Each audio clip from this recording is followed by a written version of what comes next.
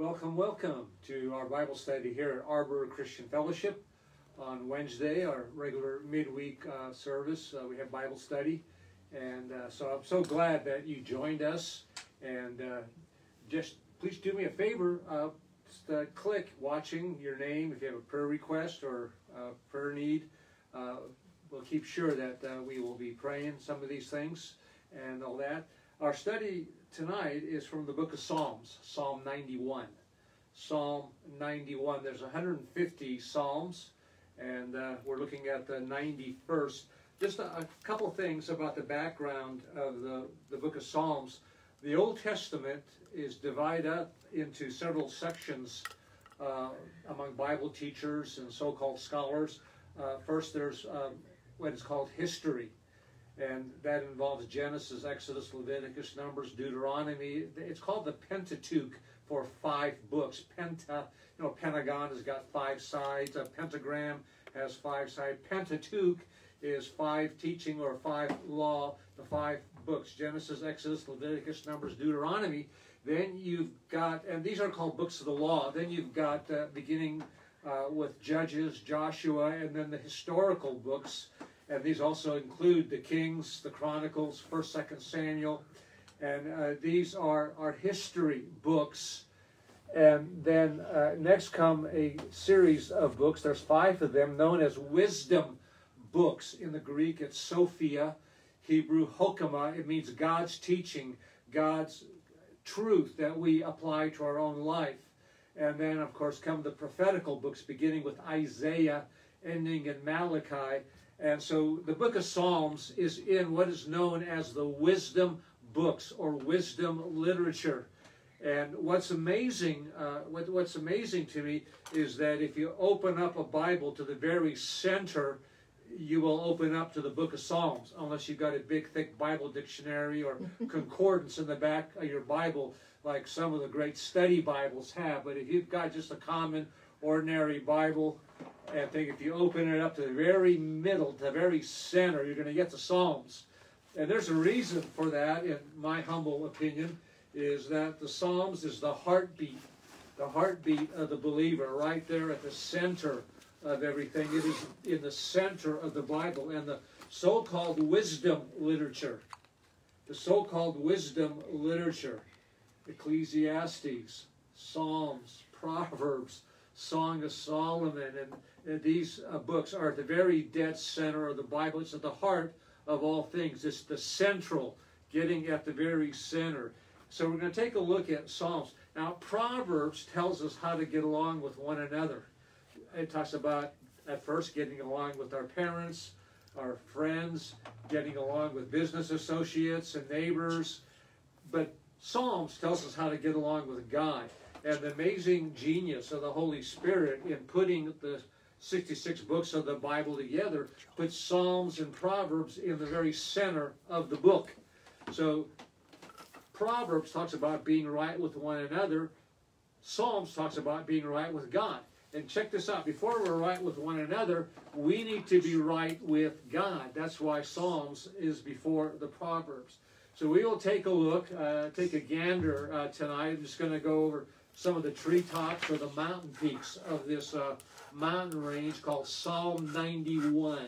Psalm 91. So, if you have your Bible, open it up to very center, and you should be in the book of Psalms.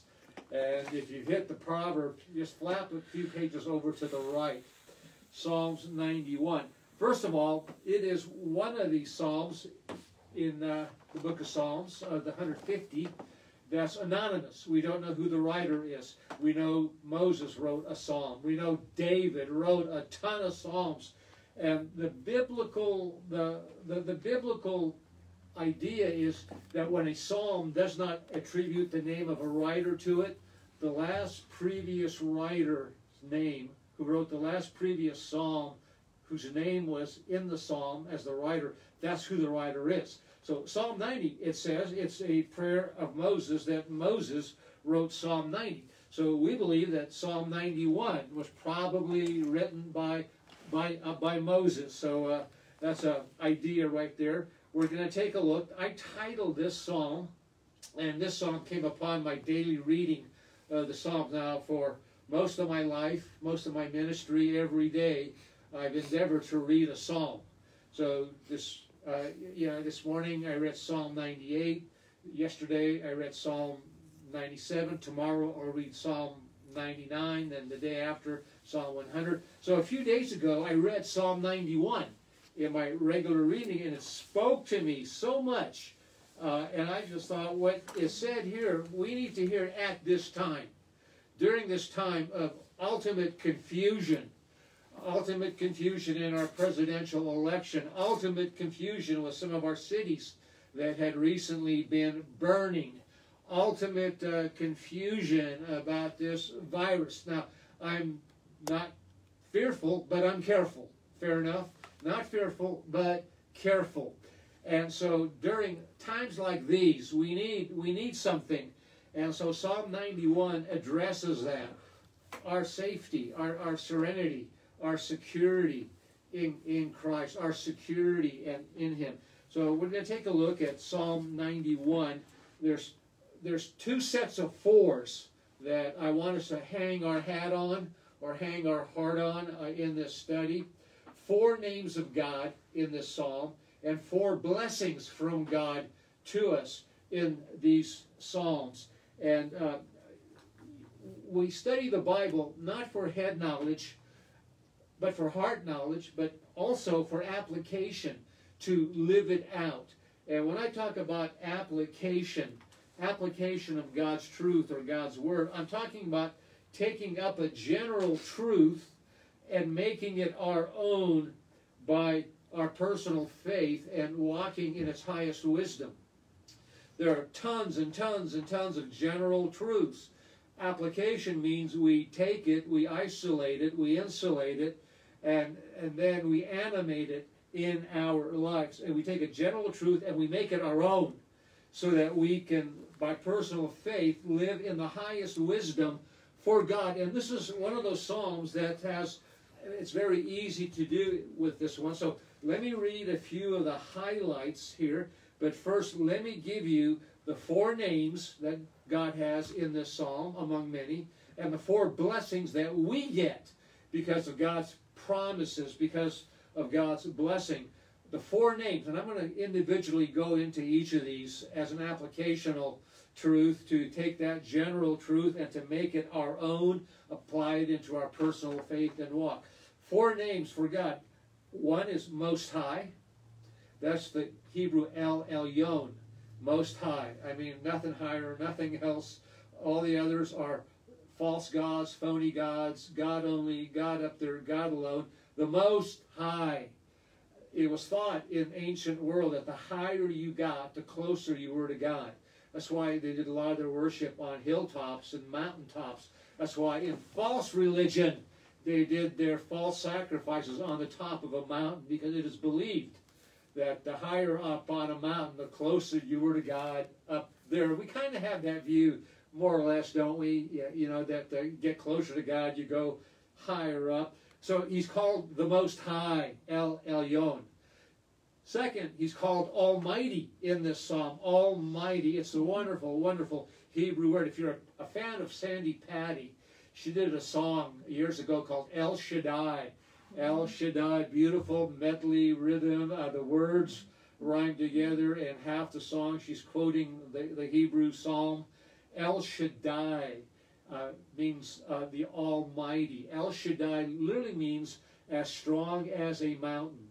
Uh, when you think of the granite mountains, the granite walls of Yosemite, El Capitan, Half Dome, those are pretty almighty rocks. You're not going to bust them up or or, you know, uh, there's Most High, El Elyon. There's Almighty, El Shaddai. There's God, God from Genesis 1 1, Elohim. And by the way, any Hebrew word that ends with im, I am, is plural. Now we believe in one God, but in three persons, and that's why it's plural. Elohim. El is the, one of the Hebrew names of God. El. And then Elohim is his name in Trinity. God the Father, God the Son, God the Holy Spirit. Please don't write to me and ask me to explain the Trinity. For 2,000 years, some of the brainiest, smartest, great, I mean, Isaac Newton and others uh, have tried to explain uh, the Trinity, and uh, we can't fully explain it. We just know that God is three in one one person, one God, three characters God the Father, God the Son, God the Holy Spirit. Now you say that's impossible. No, it isn't. Because I'm two thirds of a Trinity. I'm a Son, but I'm also a Father.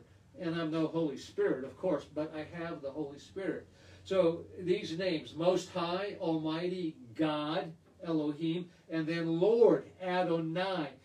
Elohim talks about his power and his remoteness, his what the German theologians in the 20th century called his total other utterness, his other total utter otherness. Everything that God is, we are not. Everything we are, God is not. But because of Jesus Christ and what he did on the cross, and when we accept him and he comes into our life through the Holy Spirit, we can be what God is. In fact, that is the striving of the Christian life to accept Christ as your Lord and Savior. Maybe you did it at church, you walked the aisle. Maybe at Sunday school or vacation Bible school as a child, or at a Billy Graham crusade or Greg Laurie crusade or something, or at church service on an Easter Sunday or some other time. You came forward and accepted Christ. Well, if you did that, you're promised eternal life, forgiveness of sin, and you're going to heaven. But, but, and this is a very huge very huge adversative, transitive, but B-U-T. It's just the beginning. The minute you accept Christ, that's not the end. That's the beginning. That's the start. That's the step of growing, glowing, and going in God, of getting more mature, of spiritual growth. We grow in Christ. And much of the writings of Paul in the book of Ephesians, Colossians, and Philippians, and also Galatians talk about our growing in the person of Christ, growing more and more Christ like. So we see in Psalm 91, and we'll look at these four names of God Most High, Almighty, God, Lord, and then four blessings that He is to us. He is our shelter, our shadow, He is our shield, and He is our salvation. Those four words are used in, in this passage. So without any further ado, as they say in Great Britain, uh, let me read some of these uh, verses. There's 16 uh, verses. I'm not going to read all of them. We're just going to tiptoe, not tiptoe through the tulips, but we're going to tiptoe through the treetops of the promises. Um, Psalm 91 is much like a Christmas tree. Uh, it has a, a, you know it has a whole ornament of promises. You put on your Christmas tree all of these ornaments, this, this psalm is a Christmas tree, stringed and wrapped around with ornaments of great promises. So let's begin. Follow along with me. Uh, if you're at home, on your kitchen table, your Bible, in your bedroom, on your couch, wherever you, you may be, maybe on your lounge chair in your backyard with the light on, because I know it's dark here in California time, and if you're watching in other parts of the U.S., it's, it's already dark there. So, Psalm 91. He who dwells in the shelter, or actually in the Hebrew, it is the secret place of the Most High. This alludes to intimate fellowship, knowing Him and being close to Him, the, the secret place, being in His presence, intimacy with God, which produces integrity before people. Intimacy with God produces integrity. Now, what does the word integrity mean? Uh, I didn't do that, that good in high school uh, in math. I don't know how I survived college algebra and upper division required math courses, but we do know that uh, that integrity is also a mathematical term, integer, integer, like a whole number. To have integrity is to be whole. It's not to be five or six different people. One person on Sunday at church one person Monday at work, one person Friday with the family, one person uh, down the neighborhood, uh, or and uh, another person there at the service club or business club, or or now it's always being that one person that's of that's whole and the same in Christ, being what you are wherever you are, whenever you are. Uh, it talks about dwelling in the shadow. He is our shelter of the Most High, and we will also abide in the shadow of the Almighty. So we, we see that God is our shelter, our shadow, our shield, and our salvation. Now, let me tell you something about in the end of verse uh, 1 we will abide in the shadow of the Almighty. Uh, one of my songs that I remember from being a kid is the song I'm Being Followed by a Moon Shadow. It had real catchy thing, you know, I'm being followed by a moon shadow, and I think it was some Brit guy that, that sang it. A couple of things that I've studied and know about shadows. First of all, a shadow implies nearness. Think of it. Mm-hmm. You only see the shadow of what is near. Whenever you're walking and you see your shadow, it is it is near. You don't see the shadow of something a mile away. The shadow may be there, but you don't see it. So first thing, we are in the shadow. We are in the shadow of El Shaddai, in the shadow of the Almighty. It means God is near and dear. That's number one. I want you to understand the nearness. Second thing I, I want you to understand about a shadow is that it is impossible to have a shadow without what? You guessed it, light. Without light. Jesus said in John 8 12, I am the light of the world. Paul wrote that we shall walk not in darkness but in light. So when we are in the shadow of the Almighty, we see the nearness and dearness clearness, the clarity and charity of God. He is near and dear, and we see the light, the shine, the radiance of the Redeemer in our redemption. He radiates. I call it the shine. Have you ever had a black eye some way, somehow? And uh, my boyhood, I, I, had a couple, and uh, they call them shiners. They call them shiners. Well, we are to be God's shiners. No, not in a fist fight and getting a black eye. I'm talking about the radiance and the love and light of the Lord shining out, glowing out His radiance, uh, the shadow, the shadow. Verse 2 I will say to the Lord, my refuge and my fortress in my God is whom I trust. He delivers me from the trapper. That's the snare. Uh, have you ever set like a gopher trap in your backyard? I remember growing up in San Jose, California, our backyard, he tried, one of the things that he prided himself with is having a nice lawn.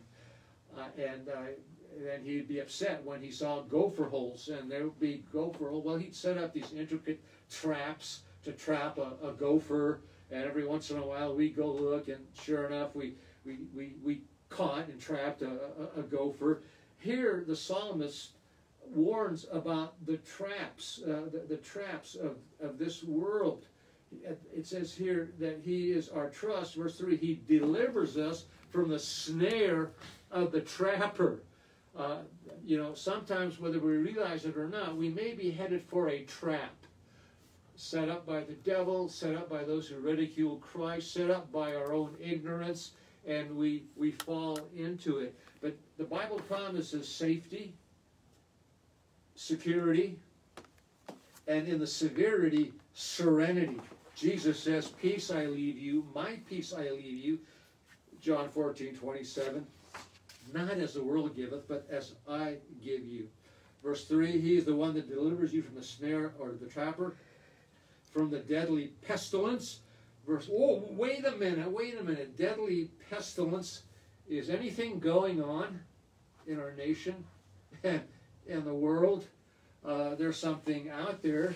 My stand on COVID 19 and coronavirus is I'm going to be careful, but not fearful. Fear not. Fear, fear not. Be wise. But he, he delivers. It says that he will cover us with his pinions under his wings. Literally, his feathers, like an eagle covers the little eaglets, the, the mother eagle. God protects us we see his shelter, his shadow, the shield, and then we see his salvation. All this in this great chapter. By the way, the devil hated this chapter. You know why? Because it was verses out of this chapter that the devil misquoted scripture to tempt Jesus in Matthew 4, Luke 4. Look it up tonight or tomorrow morning in your daily devotion. Matthew 4 and Luke 4.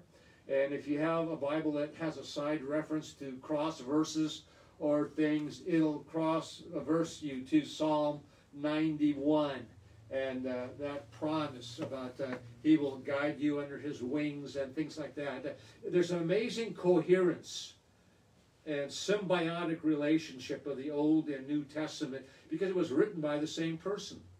God breathed by God, the Holy Spirit, preserved, preserved by God, and we have today what is in the original scripture, of course, translated into our own language, but we see the trustworthiness of the Bible. There was no tampering, no no changing, and uh, that was one of the criticisms that people ridiculed with, with the Bible. They kept saying there's been so many changes, so many translations, so many miswritings.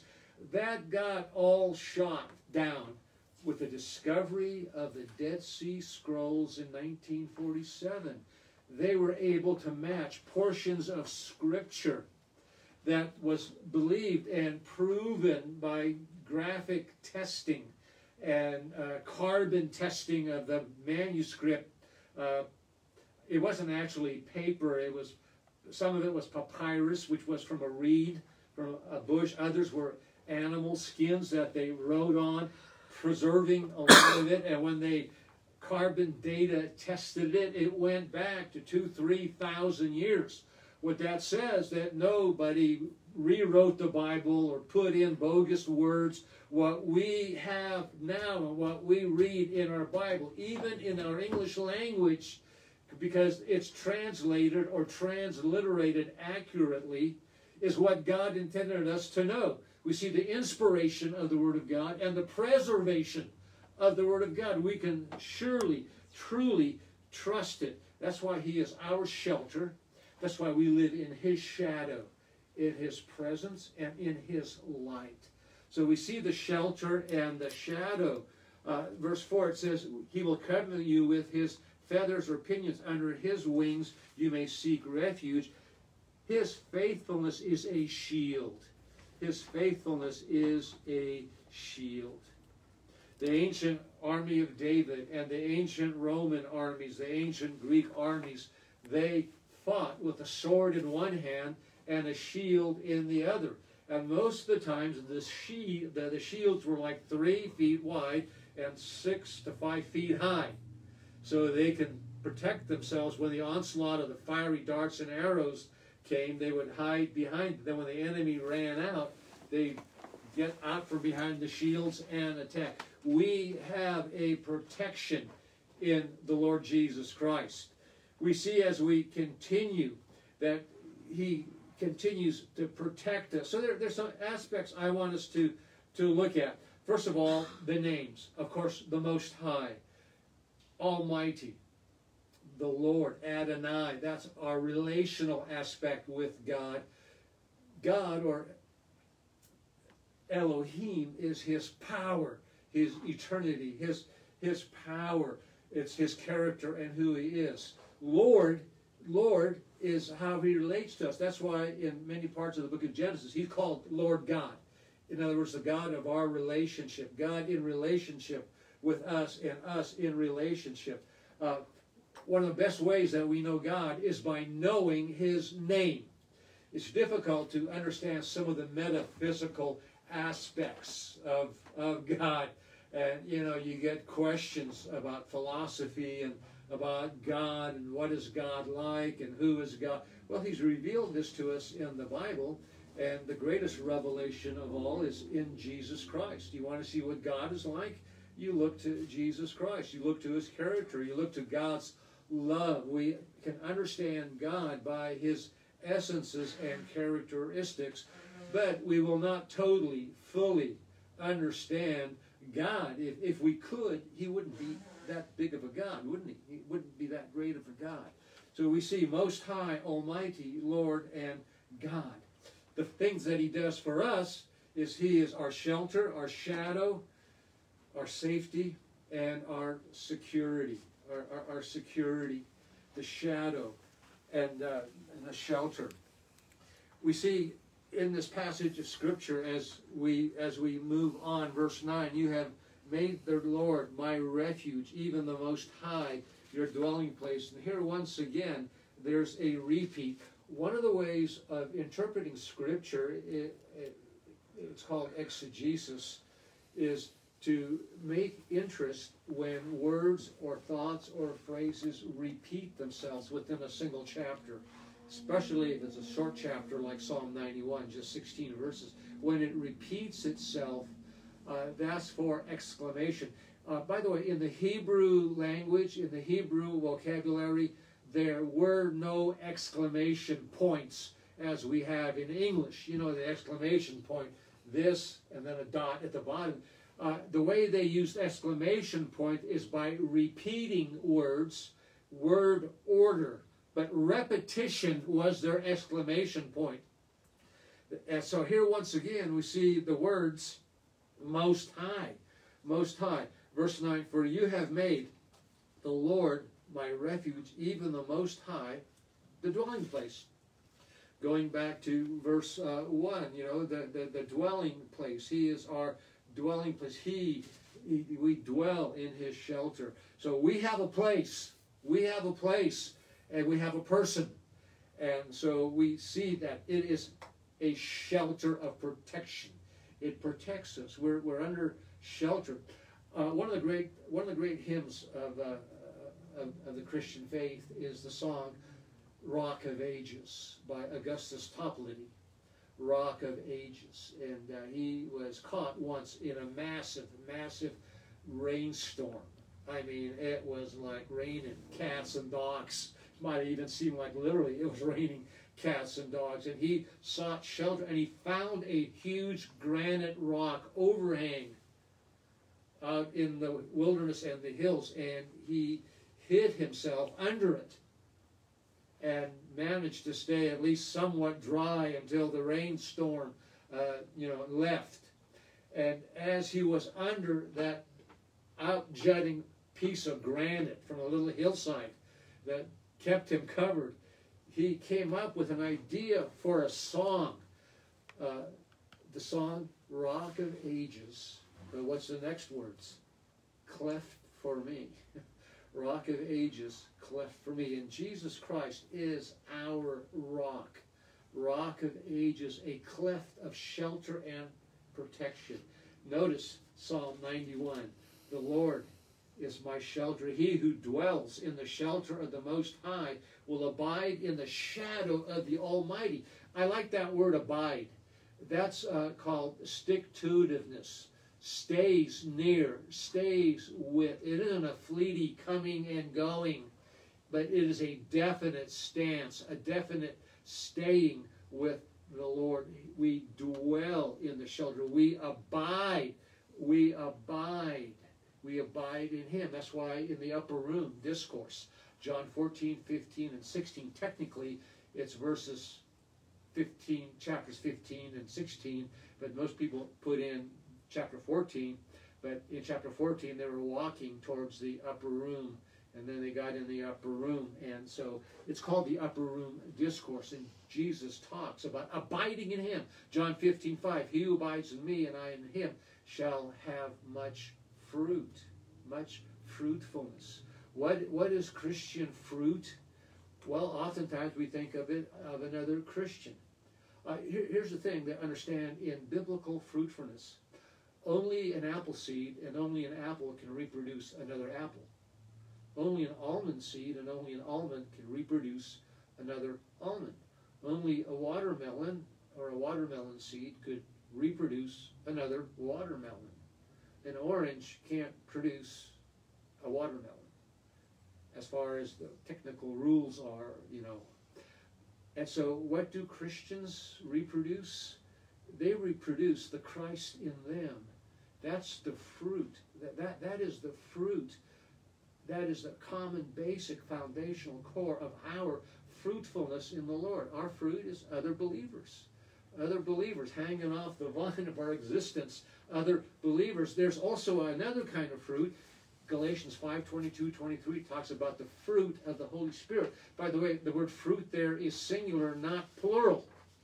It is one cluster of these nine things love, joy, peace, gentleness, goodness, meekness, faith, temperance. Against such there is no law. Galatians 5 22, 23. By the way, that fruit, that fruit that is produced by the fruit of the Holy Spirit by the way, everything that is described as fruit there describes the character and the presence and the personhood and what Jesus Christ does for us. It describes Christ. The fruit is love.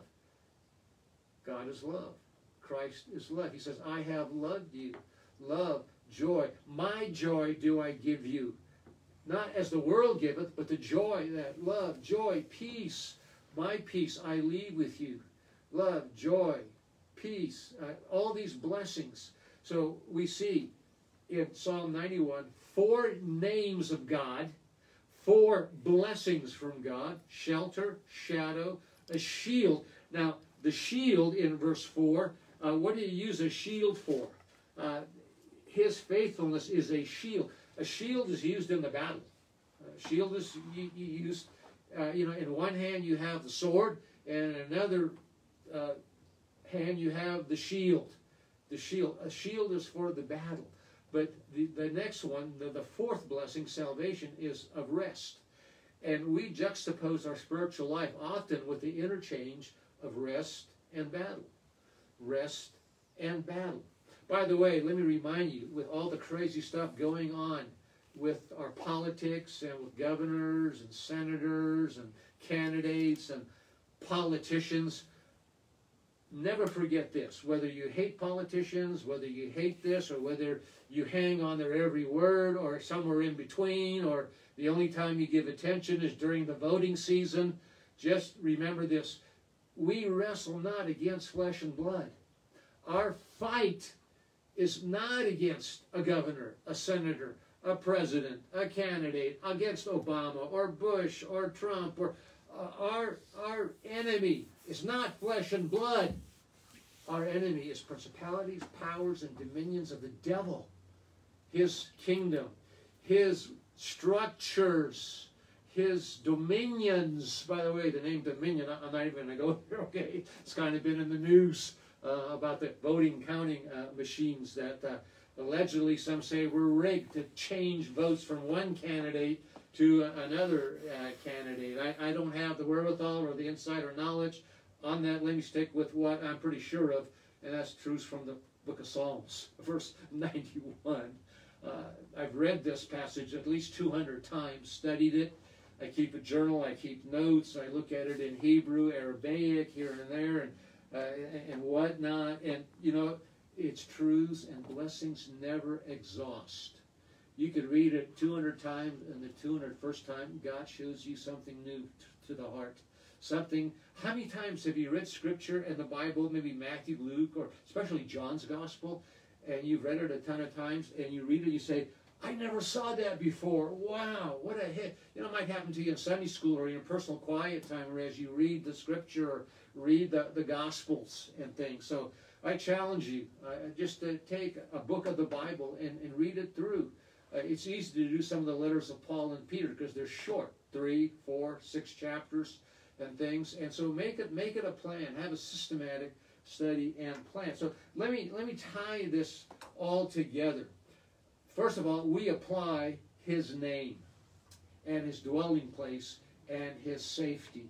We have shelter. We have a place. We have protection. We have a spiritual roof over our head, so to speak, when it's pouring cats and dogs, as it was for Augustus Toplady when he wrote Rock of Ages cliff or cleft for me. We apply his name. By the way, verse 14, it, here, here's a great blessing and promise to go away with uh, tonight.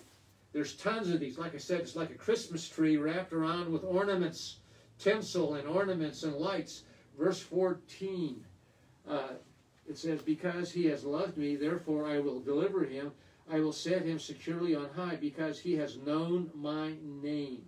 He knows my name. We know his name and what it means. one of the great ways of knowing God and understanding God is knowing what the name represents. And it's amazing that the names of God capture his strength, his character, his being, his essence, often what he's doing or what he's done. We know his name, but better is he knows my name. He knows who I am. He knows where I am. He knows what I need, and he is able. He is able to supply that which we need. That's Philippians chapter 4. But look at this verse 14. He has known my name. We have his fellowship, we have his favor, and because of all these, we have his fervor, and that's his fire. The fire of him. He knows my name, he knows my need.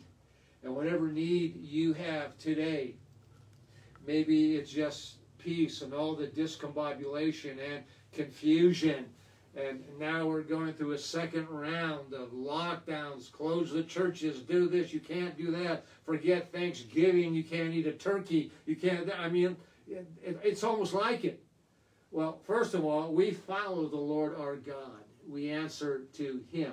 Yes, when the laws are reasonable, the Scripture says to go along with them, but they are not. Uh, we uh, we make a decision and let the Lord lead and guide us. Yes, this Sunday will be live streaming. This Sunday we will be live streaming.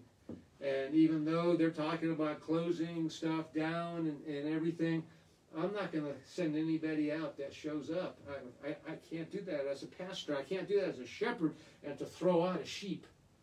So you just let God lead you. You let the Lord lead you. But I'm going to encourage a lot of you to stay home and see us live. See us live on, on Facebook. This too shall come to pass. And I want to tell you, I would rather err on overcaution and nobody gets anything, nobody gets sick, than to just, oh yeah, you all come, come on, no fear, it's bogus. No, there's a middle ground. And my goal, a year from now, two years from now, if the Lord hasn't returned yet, that we look back at 2020 we look back at 2020 and say during this situation, this pandemic and pandemic and everything else along with it, that we did the right and most prudent thing that we could do with what we knew at that time. That's that's my goal. I don't want to upset anybody, nor do I want to prove anything to anybody. The only thing I want to prove is the Word of God and that we follow Him. So those of you watching, wondering about Sunday, you know, if you have any questions, Call me and I'll explain it to you again. So let me close and, and, and wrap it up. God actually desires our time with Him. He, he really does. He wants us to commune and fellowship. So I want us to just consider uh, some things. As I mentioned, the safety, the security, the severity of this world, but the serenity that we have in Christ his nearness. We're under his shadow, and a shadow represents nearness. You cannot have a shadow if something is not near. And this is the nearness of God, the nowness and the newness and the nearness of God. The shadow not only represents, as I said earlier, we need to drill this into our minds and heart during this time, especially during this time when some people have a, a time of fear and I'm under a little bit of fear, fear of doing the wrong thing. Fear knowing that I answer to the God, but I also answer to my people in loving kindness and as their shepherd, as their protector spiritually. And I'm not going to be stubborn and bullheaded to make a point about anything. Submit and surrender to God and see the prudent thing and let the Lord lead. God desires us to spend time with Him. Uh, a couple of things that's beautiful about this that I close with.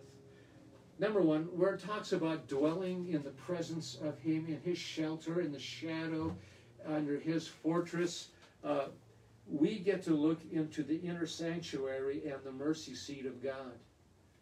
We have a dwelling place there. We have a place reserved for us.